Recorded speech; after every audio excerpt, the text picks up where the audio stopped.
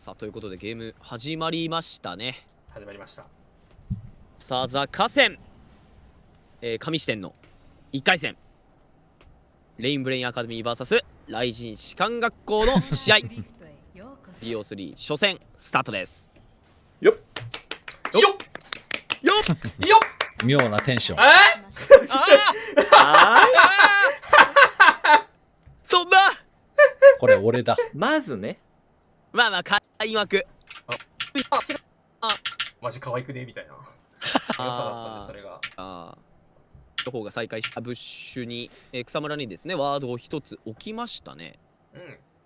これはいいワードですよね。その結局マルファイトが序盤だ、まあ、レオン代表が使うマルファイトが、まあ、そんなに速くないんで序盤強くもないしし入られたら結構まずいんで、まあ、それを守るためっていうのでもすごいいいワードだと思いますねまあこちら雷神士官学校、えージャングラーはレオン代表ということでなんかそジャングルの参加。はい。そレオン代表はそれっぽい回答してるな。くこう、レベル 6?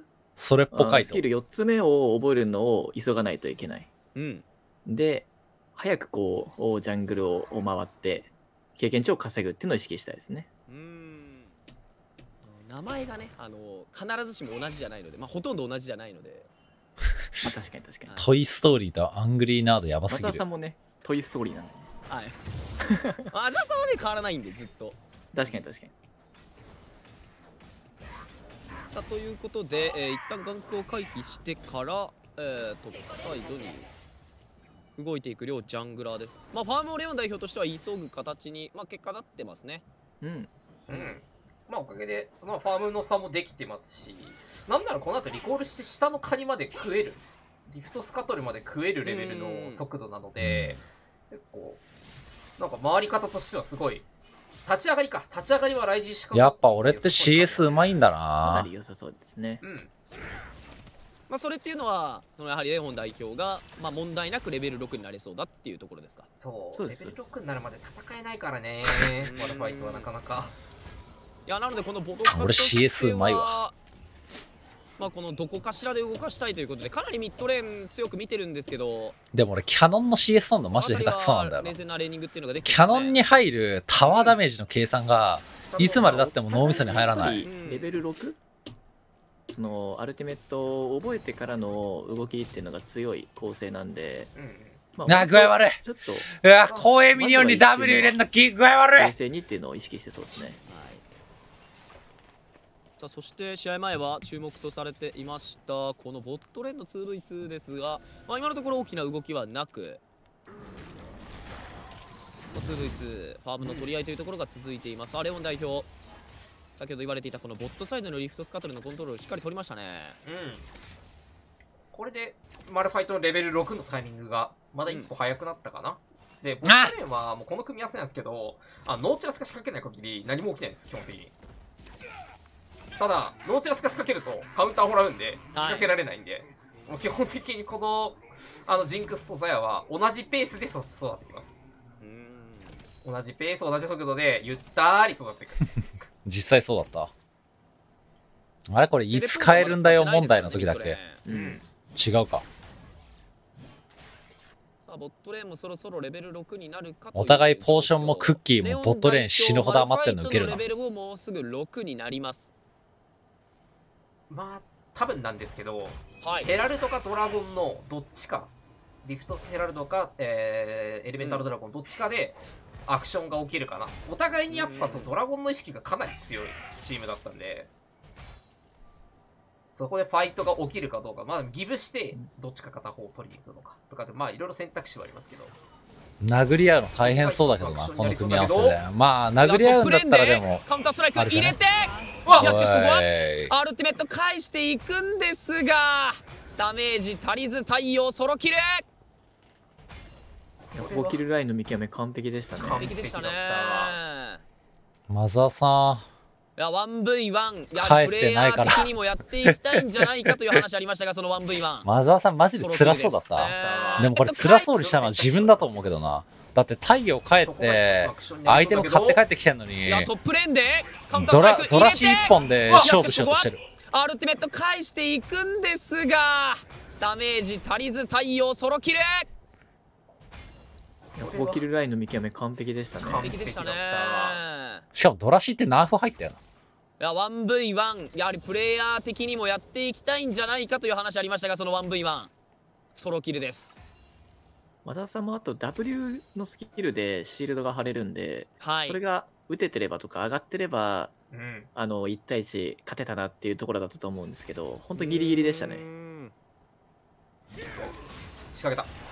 さあレベル6のレオン代表に合わせてフックを当てる。そしてアンストッパブルフォーススネアと連鎖させていって CC チンから1キル獲得。フォートレーンライジン士官学校。いやー、いい仕掛けですね。6になった瞬間じゃないですか？代表。ん。まあ6になったらドラゴンを狩るようにプログラミングされてるからね。おっとミッド。体力かなり削られてますね。リコールをしなくてはいけません立花ひなの太一の能力高くなったなぁ。この体力ですからねうん、もう圧倒的に差つけちゃってるんで。うんまあ、ドラゴンは絶対触れられないし、なんならこの後、リコールをした後に、そのヘラルドに対してのアプローチまでかけられますよね、この後は。うん。プレート1枚言うと。いやーこれはいきなり雷神士官学校がトップミッドボットと、まあ、順調な滑り出しを見せてますね。いいですね絶対に代表がドラゴンを引こうとしてたのは何だっさあまたんだろうたカウンターストライクがマザーに入る パワーバッシュ。フェイスブレーカー ヘイメーカー返していくが対応ね。いいですね。これはまずいんじゃないか？さあまたカウンターストライクがマザーに入るパワーバッシュ。フェイスブレーカーヘイメーカー返していくが対応なんだこの関係なくなんだこのフラッシュ2回目のソロキル なんかもうお互いに、なんかもうここから動いたら負けみたいな。そう。なんか、手押し相撲してる。なんかもしかして神聖な場なのかな？なんかこう。に入るどっちもおもろい。太陽さんもさ太陽さんも俺らにさ、瀬戸の W の中心で当たったら体力8割結晶部から注意ねとかさ、だいぶいいですね。W 警戒する話してたはずなのに、さあまたカウンターストライクがマザーに入るパワーバッシュ微動だにせず中心で食らってるけど太陽関係なく殴り続けて2回目のソロキルドンクライ VS 高山やってる。なんかもうお互いに、なんかもうここから動いたら負けみたいな。そう。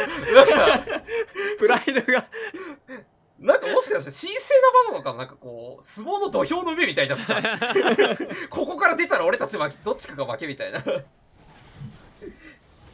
とお願い、お願い関裕太システムがちょっと発動しちゃうんですよね。俺もう関裕太システム発動しますね関。さん CS うめえただそのよ。関裕太かなり順調にファーマーできてますようん。なんで、ここは順調ですよね。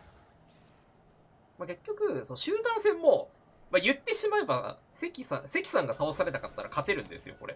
はいセンスあるかもです。ただ、避けないといけないスキルがあまりにも多すぎるんで、そこを全部避けることができるのかっていうのが一つのポイントかな。お、いい判断。ああさあボットサイドにボドカが眼空を狙っていくんですがそのタイミングでトップサイドではエラルドを始めようかという動きを見せてますレオン代表ああここに太陽を寄せて確実に取りに行く判断です雷神士官学校これはいい判断だいや非常にレオン代表のこのなんて言うんでしょうねマルファイトを使って試合を動かしていくこの積極的な動き目立ってますねう。うんうれえ。見えた瞬間に始めることによって絶対追いつきませんでしたからね、今。はいで、これはもう、すぐにミッドに出そうとしてるかな？ミッドをプッシュをしてる。ああ、いやー素晴らしい動きだ。レベル3これはを張るタイミング。おーたんそうですねボドカがちょっとまずい。あっとちょっとチャームをレオン代表がもらってそれを見逃さない。旋風演武残った体力は立花ひなのが抑えていく。そしてもう一度スピリットラッシュを使ってアスミセナへ仕掛けていきますが何言ってさアスミセナは逃げ切りました。なんで硬いの？ックルは入ったものの1キル獲得はレインブレインいやアカデミー。硬くないのは分かるんだけどトレン立花ひな硬のうん。これはいいチャーム入りましたね。完璧なチャーいやム。まあいいようん知ってんだけどいやそれは知ってんだけど表が、はい欲しがりすぎましたね。それはもちろん存じ上げてるんだけど2人シュヌーブを捉えてバックライン発射で2人を打ち上げたフェザーストームそしてクラッチブレードコーラー羽を追い戻し2人シュヌーブフラッシュアウトしかしフラッシュでついていって残った体力は釈迦が大タタックで一突き。しかしここにボドカがやってきて前に出過ぎたクラッチを打ち取る。そして釈迦まあはまあまあまタワーあ下逃げ飲みました。まあでもこれ俺のキルなんだよな。お互いエリキャリーがダウンうん。いやーいいカバーでしたね。今釈迦さんのフックもすごい良かったんですけどそのフックされた後にウルカさんのこの盾持ってる、まあ、はい。ブラウムっていうんですけど、このキャラが間に入ってこう盾を張ることによって相手のおダメージが出てくる、まあ、飛んでくるスキルとかオートアタックを全部撃ち落とす。その効果であの関さんを守ったっていうのが良かったですよね。うん。あの仕掛けが良すぎただけに行ったんですけどブラウムの盾ってオートアタック撃ち落とせるねうん試合前に言われていたちょっとノーチラスがやりづらいよっていう部分が出たわけですよね。そうですね。もろに出ましたね。うーんへえ、ずる。いやなんかすごいもう圧倒的にライジン資格学校が有利だったんですけど、うん。まあちょっと2キル取られて分かんなくなっちゃいましたね。うん。まあ、立て続けにこのボドカのカバーがいい形で決まっているとうん。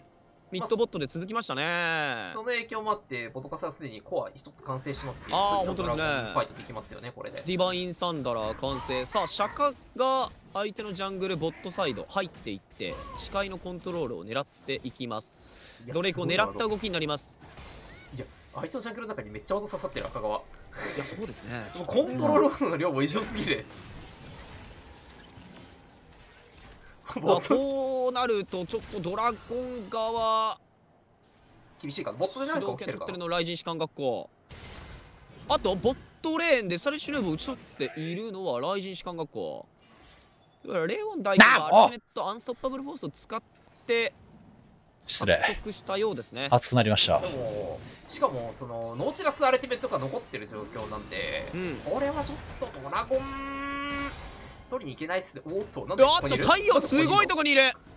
ボドカをジャングル内で見つけてうわアルティメット使わせた。いやーこれは CS には人ー一倍厳しい。で帰ったら完璧ですねうーんリコールをしてでもっと上手くなりたいな、俺も CS。ねなんか、CS って、もう俺、次の、獲得2つ目ライジン士官ステ、あの、あれなんつうんだ？ドラゴンへの意識めちゃくちゃ高いですね次のステップ、その、キャラクターのスキルの特性を生かした CS の取り方はできるようになりたいんだよな。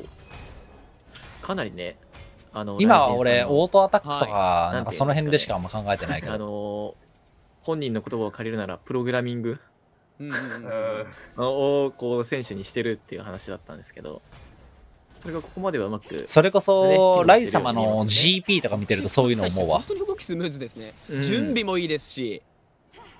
まあ今もボットガンオート？おまああれがないぞ。ボドカを見つけた太陽が仕掛けていくかもそうだぞ。選手の幻惑使っていきます。ここはマザーのカバーがあるので 逃げられるんですがいやーちょっとボドカとしてはかなりジャングルやりづらくなってきました。ちょっと強すぎるからトップ側に入れないんですけど。俺らの視界やばすぎないおっとウォットレンドが視界スコアみたいな。ウルカが不安の盾を構える。そして氷河の劣行まで使あんまり良ったがくないこれその後でフェザーストーム使ったクラッチですが仕掛けきれないと判断してやめましたライジン士官学校。やはりこれはブラウム。強さが出ています。うんガリオの CS 気持ち。いいアカデミーもちょっと奥目のワード刺しに行きたいですね視界でもガリオの CS ってパッシブのせいでボさ、あボッのトレーンのサイドブッシュを取ってますよ。ー、その、触りたいのに触りづらい状況生まれるんだよ。割ともうボットレーンですごい仕掛けてくるんで先にもうポジション取っといてうん。仕掛けてきたところをカウンターで。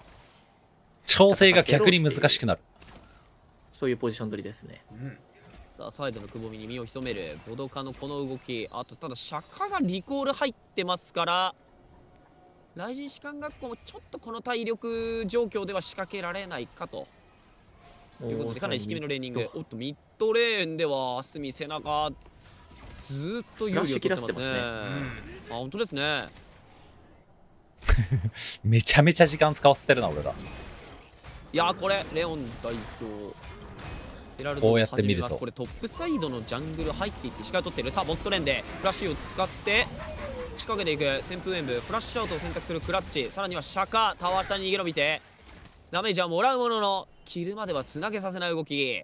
ああ、こういう感じだったのか。惜しかったですね。今結果を見,、ね、見てからじゃないと思い出せない。何が起こったか。あのチャンピオン届かなかったんでちょっと一手足りなくなっちゃいましたね。なんでこれ俺ら死ななかったんだろう。ヒールもあったけど。ヘラルドを始めます。これトップサイドのジャングル入っていって視界を取ってる。さあボットレーンでフラッシュを使って仕掛けていく。旋風演舞フラッシュアウトを選択するクラッチ。俺が手前に来たから俺を打っゃちゃってんだね。ダメージはもらうもののきなるほど足りなくなっちゃいましたね。まあフォーカスはマジでむずいよね。俺も未だにできないわ。2度目のヘラルド召喚ミッドレーンです。絶対壊してやるぞっていう強い意志を感じる。フォーカスほんと難しい。これはプログラミングされた動きですね。集団戦になった時はい。あのヘラルドに狙うべきキャラを認識するのめっちゃ難しい。2回取れば折れると。いや、折れるけど、確かに。これはでもプログラミング外ですね。ちょっとミッドナウトタワーが早くなくなりましたから。これは折れそうだったからやったねこれはまあミッドのねパワーは非常に重要と言われてますがさあボットレーンにそのまま流れていくレオン代表。フックに合わせてアンストッパブルフォース。盾を構えたウルカフラッシュアウト。そして氷河の裂溝でうまく返した。ウルカ生存。こんなにフォーカスしても死なないんだなブラウムってって思った俺ね。うん。いや、これ、寄ってるってのが大きいですね。うん。ワンチャンスでまくられる可能性もあるんですけど、ブラウムジンクスって。あそこに降りてくることによって、もうチャンス、ノーチャンスになりましたね。トップレーンは2回ソロキルありましたけれども技としてはレーニングできてはいるようですね。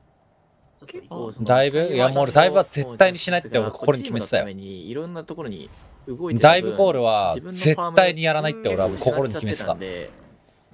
まあ逆にその間にうん。マザーさんがファームして100%事故る。そのゴールド差をなんとか埋めれてるっていう状況ですね、うん。なんで今戦えてるっていう感じです。お互いワンコアずつ装備の差はほぼない取れたなーっていうキルを取れないのより勝ってたのに敵に3キル持ってかれるみたいなのだけは俺避けなきゃいけないと思ってたトレード勝っていくのはスミセナ立花ひなのこれアルティメット使ってますからうんしかもテレポートがないんで、もうそうそうファイトができない。これは大金星ですね。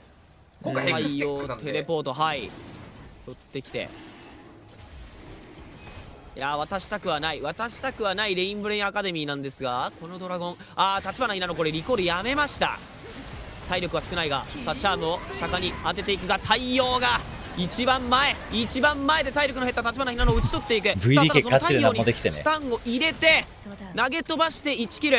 返していくのはレインブレイアカデミーですがその間にもう一人。うまうまいうまいマジで。夏見セナを引き込んでそしてそこの後ろからスタイリッシュヌーブがダメージを入れていく。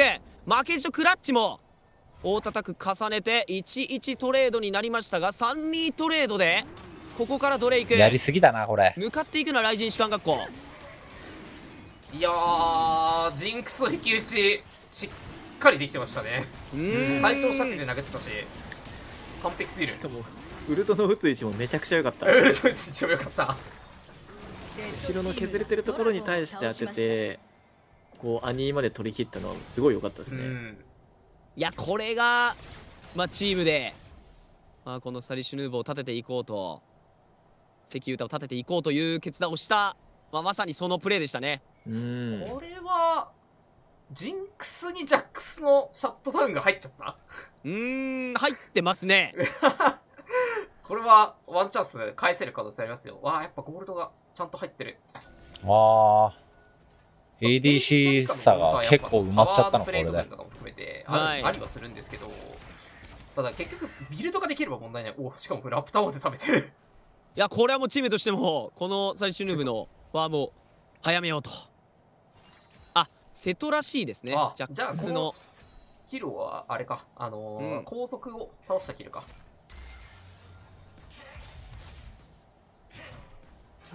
かしどうなんでしょうここまでのパフォーマンスを見せてもらうとちょっとこのジンクスストライシュヌーブのコアがアイテムができてくればまだチャンスありそうだとうん言えそうですよね。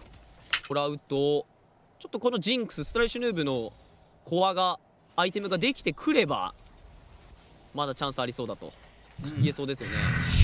ただ、ビルドを急がないといけないですね。アイテムの完成を急がないと、次のドラゴン絶対にファイトしないといけないんで、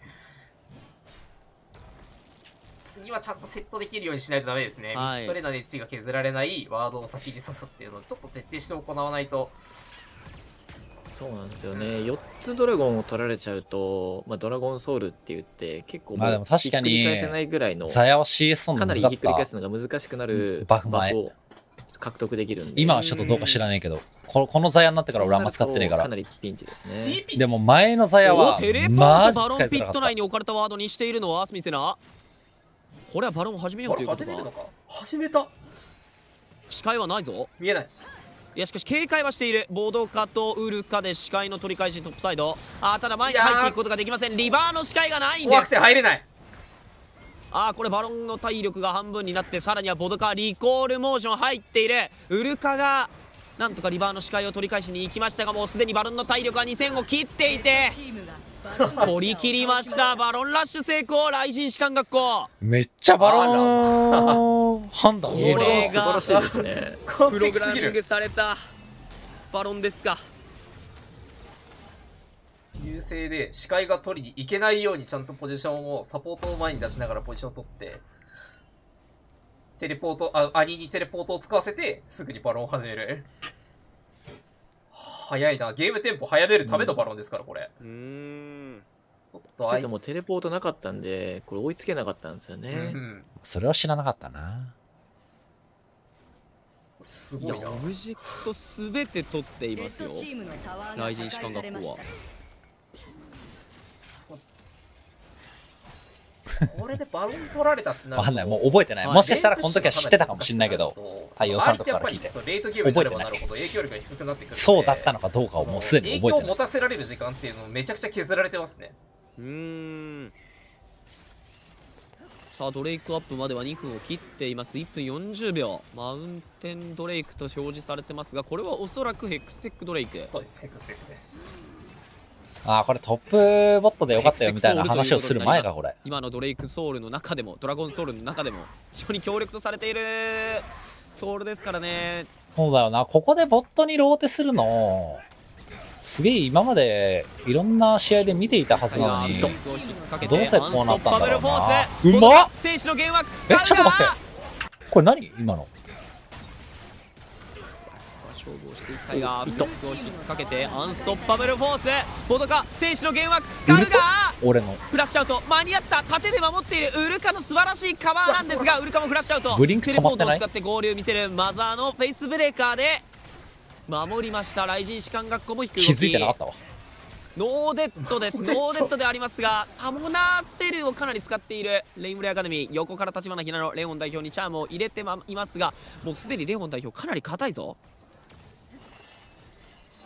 ただレインブレイアカデミーも苦しい中で、こはい。れノーデッド。悪くないでもこうやって見るとマジでひどいな。ウルカの素晴らしいカバーでしたね。俺らのなバロン取るところまでは良かったのにな。フラッシュで対応しまなすんで俯瞰で見ると気づくんだろうなこういうのって。対応の対応。やめてくれるちょっと拾わなくていいからナイス対応でしたね。そうだねここで帰るの正解？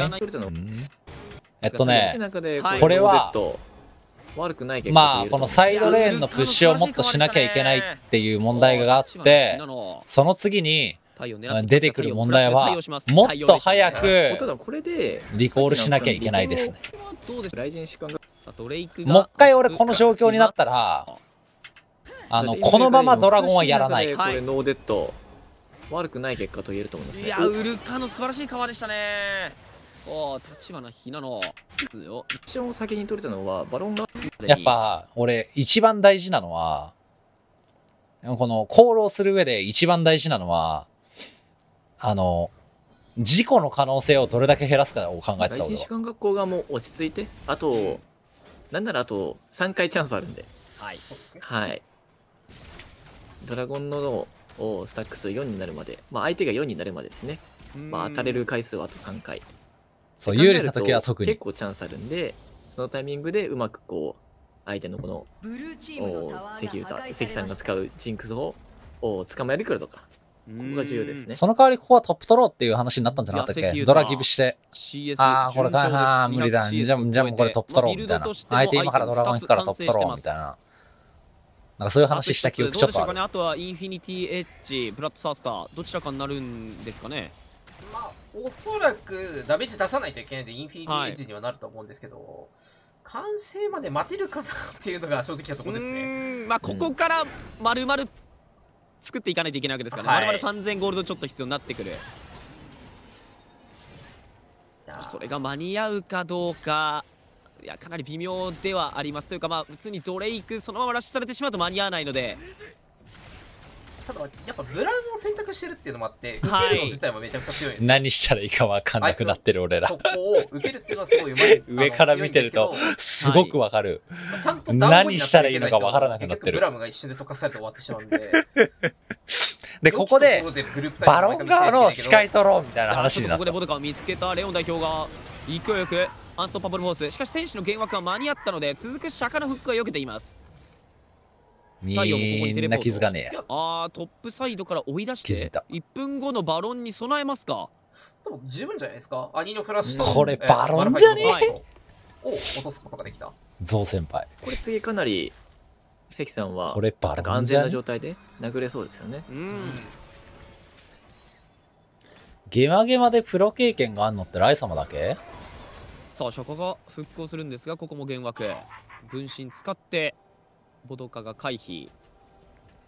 さあこの動きを持ってどんどんと視界を返していきますレインブレインアカデミーです。ジャッサン。ジャッサンはでもほら。おっとリバーで。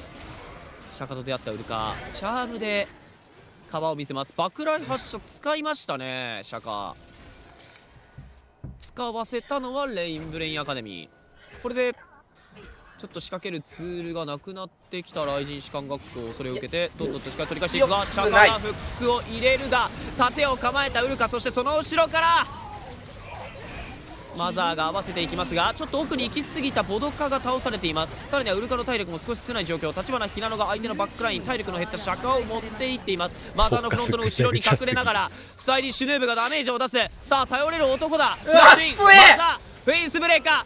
ツーマンスタン入れていましたがダメージわずか足りないか。そして反転対応カウンターストライク。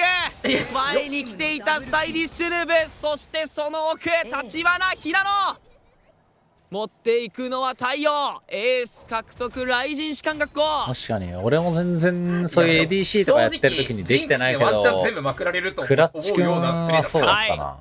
瀕死の敵を無限に追っかけ続けたところはあったあ、これは士官学校勝ったなって思ったんですけど、関さんがプレイで返しましたね。なんか前言われてたよな、ライ様から。ここっちの敵多いすぎて。グロンプのところぐらいまで追っかけたやつなんか多すぎって言われてた気する。いや育ちに育っていますか？この太陽の使うジャックス。でも、やってるとな、他のキャラの HP とかをそもそも気づいてないから。ちょっとこ、の後のドラゴンファイト。ぶっちゃけ何体なんかもいまいち分かってない時あるしな。雷神。士官学校となっていそうです20秒切ってます。いや視界の状況が圧倒的に雷神士官学校。ウルカもなんとか取り返していくレオン代表、義務ワードががプログラミングされすぎてて、俺がワード置いても絶対義務ワードかぶせてくるんだよな。さあドリンクアップ。ポジション取った。雷神士官学校。さあしかしウルカを先頭。いやマザーを先頭にこのリバー入っていく。ポットレーン前。正面取った。基本俺が絶対にリバーを上がっているぞさあシャカがフ刺すことックをになってたマザーに入れた結果そこに合わせ的にるアンストパブルフォースしかしここもスタイリッシュネーブがいい距離感でダメージを出しているがシャカが強引にねじ込んだマザーがフロントを張っている。さあさあシャカがフックをマザーに入れた。そこに合わせる。アンストパブルフォース俺これ間違えたんだよな。しかしここもスタイリッシュネーブがいい距離感でダメージを出しているがシャカが強引にねじ込んだマザーがフロントを張っている。さあただシャカは倒されています。そしてバックラインで花ひなのが飛び込みを見せる。またしてもスタイリッシュネーブが回答した。ダメージダメージを出していけ強すぎる！るそれを守るのがウルから後ろに後ろにどんどんと入っていく太陽ですがフラッシュアウト。さあしかしこのシミュレーザーをフラッシュで回避した太陽が。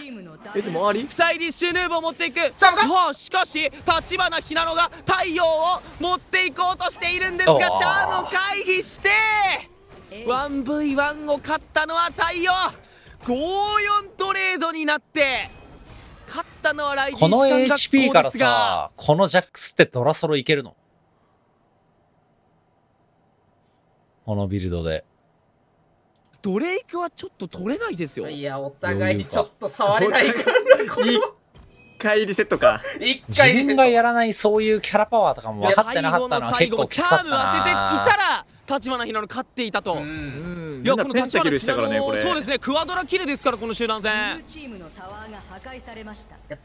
これ、ただまあ太陽さんはテレポートがあるんで大丈夫ですね。このまま。うん大丈夫でも戦えるけど。夫今結構もう雷神士官学校フィオラのタワーにに対するダメージとかもジンクスを見ないとジンクスを正見ないと直あんまりはい分かってないとこあったんやなしたけどそのおそこでフォーカスが外れてこうフリーになったタイミングで立花ひなのさんが横からね、公営を全部破壊したっていう、うーん。いやレーンでは苦しんでたんですがこの集団戦で見せますうね、ん、いや、うまいな。ぁ本当に。さあお互いにうまいんだよ士官学校ドレイクはやはり取今らなくてはいけないぞ。アスミセナのテレポートリバーの視界のコントロールは雷神士官学校が抑えました。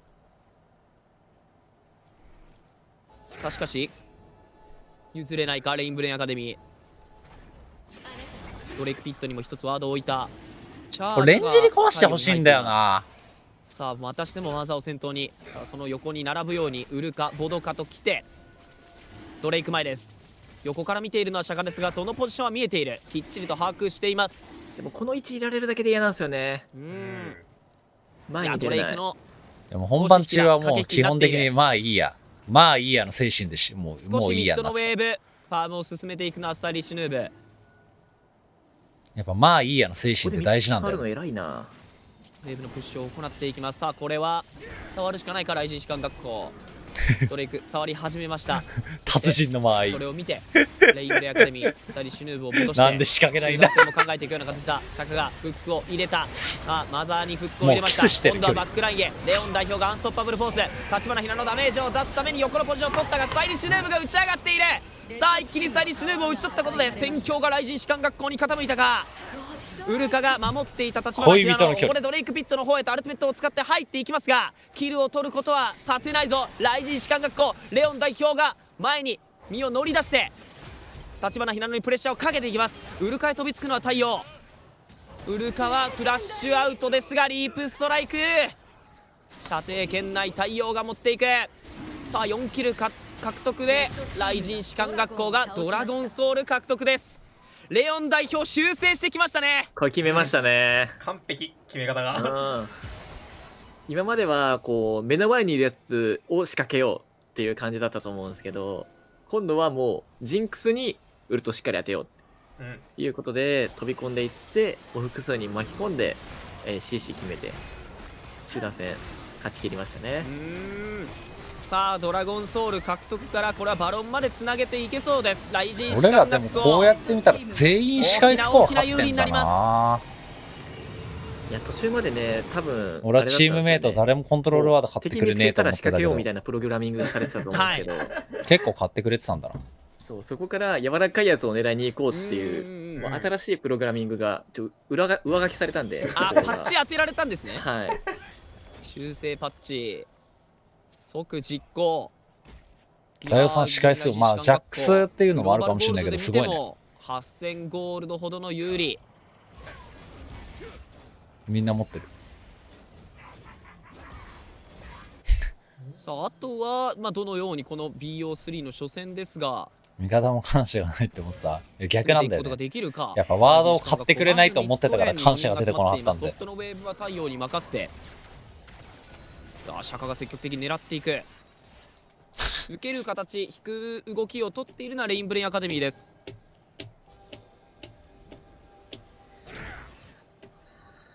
いやここも焦らず雷神士官学校は丁寧に視界から取ってきますね。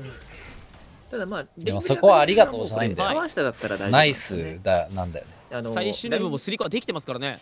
そうなんですよ。雷神士官学校側も結構強引にうん。タワーを殴りに行ける構成ではなくて戦って相手を倒してからタワーを殴りに行くっていう構成なんで。ってなるとタワー下から出なければそんなに怖くない。さあチャームを釈迦に当てて釈迦をフラッシュアウト。さあその後ついていくボドカの。うわあーただアンストッパブルフォースから一気に返していくか。いやしかしそれでも釈迦を打ち取ることには成功。ただレオン代表が2キルさらには太陽がさらにもう1キルという動きで3キル獲得は一瞬にして雷神士官学校。これ当たられたのでもまずかったな。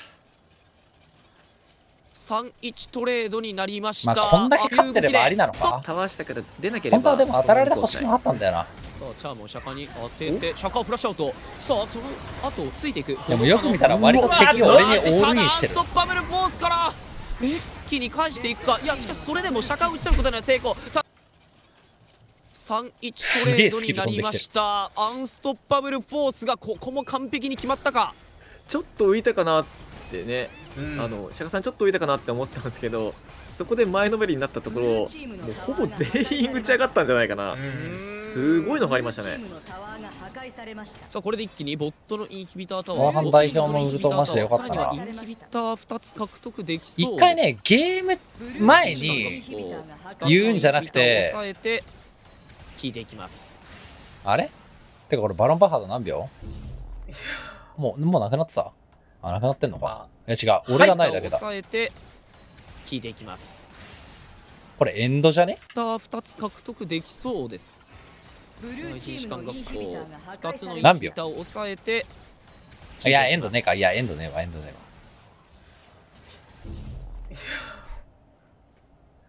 やっぱ、入れば、こう、なんていうんですかね、一気に入ると、やっぱ手つけらんないですね。もう、あ AOE ダメージで一瞬で全員 HP が7割に消えたんで。これはどうするべきか。これあれだっけ？エルダーまで行きたくないって言った回だっけ？ちょっとビルドが完成しすぎですよね、もうーうんう。もう1万ゴールド差もついてて、えっ、と、ドラゴンもソウルも取られてたんで、結構苦しい。集団戦の形一つ作るにしても、まあ、なかなか。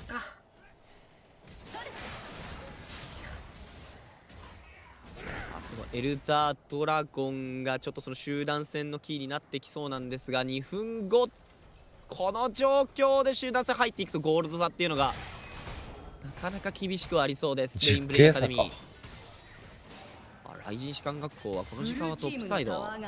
残っているインヒビターを狙いに行きそうです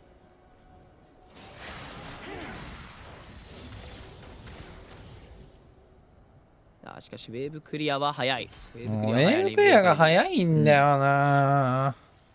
マジここちょっとどうすればいいかマジでわからんくなった。やっぱこれミッドにワンとかはいた方がいいのかな。それこそジャックスみたいな感じでは最終的にそうなったよね。だいぶするかゴールド差はかなりありますからね。それでも怖いんですよね。レオン代表のちアンストパブルフォース次第ではと思うんですが、まあ、やはりそれを感じてるんですかね。も代表がこんなに硬いんんだったら代表のウルトインしてもらったらなんとかなる気すんだよな。ここも無理はしない。マジでタワーのダメージ受けてなかったしな。もうレオン代表めちゃくちゃ硬いですね。うーん。結構殴られてるように感じるんですけど。まだまだ体力満タン。はい